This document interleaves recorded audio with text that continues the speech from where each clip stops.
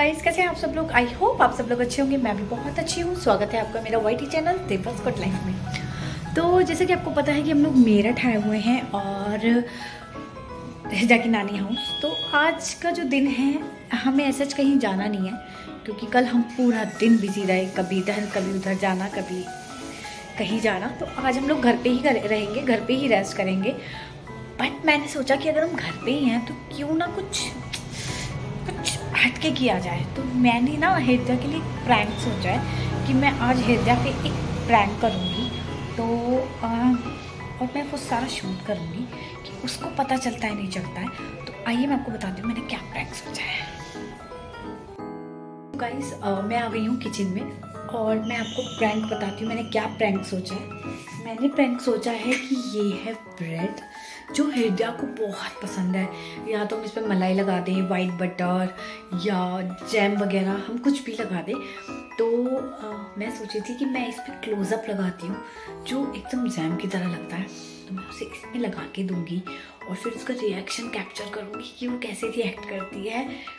Closeup वाली bread खा के आ जाओ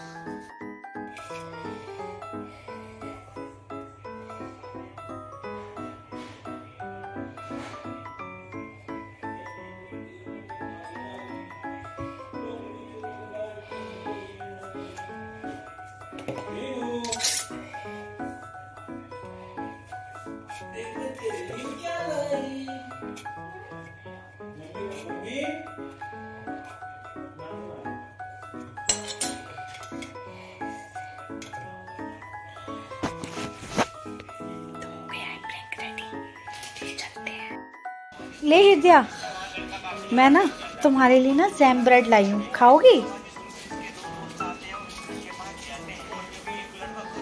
अबे, मोबाइल बंद करो दो मिनट। तब खाना ना?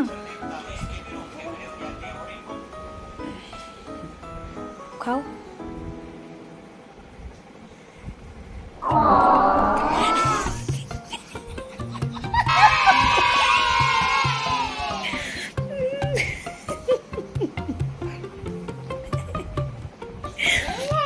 क्या है इसमें? जैम अच्छा नहीं लगा? क्या है ये?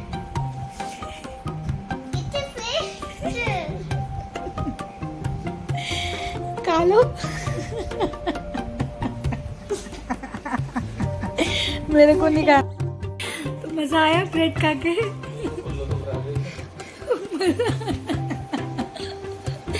अच्छी लगी ब्रेड? हाँ? और खानी है? हाँ खानी है। ला दूँ हाँ। पक्का? वैसे मैंने पता क्या सोचा था? व्हाइट बटर की जगह ना मैंने सोचा था कि तुम्हें बत, बोलूँगी कि इस पर बटर लग रहा है वाइट बटर और कॉलगेट लगा दूँगी। बट यहाँ पे कॉलगेट यूज़ होती नहीं है। मुझे क्लोज ही दिखा। तो मैंने कहा चलो आपको जैम वाली ब्रेड पसंद है वो करके देख लेती हूँ।